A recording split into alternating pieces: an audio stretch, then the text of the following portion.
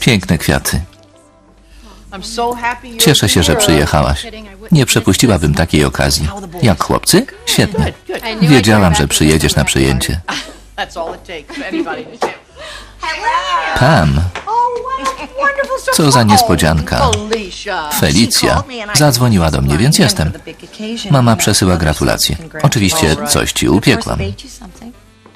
To miłe. Dziś ty i tata przeżyjecie niezapomniane chwile.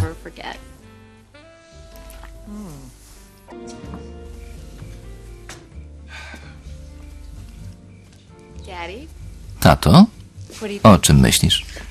Chyba przeszłaś samą siebie, organizując dla nas to przyjęcie. Macie specjalnych gości. Kristen, Kristen, to dla nas najlepszy prezent. A dla mnie to, że znów jesteś z mamą. Witaj, Eryku. Wszystkiego najlepszego.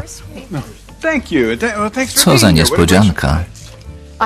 Ostrzegam cię, że oni chyba coś przygotowali. To prawda. Ten wieczór na zawsze odmieni naszą rodzinę.